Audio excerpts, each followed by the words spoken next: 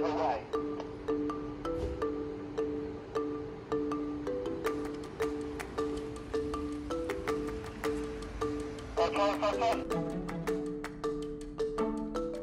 Kar-go is a self-driving car where if you buy something online, it should be able to de- deliver it to your house within 30 minutes.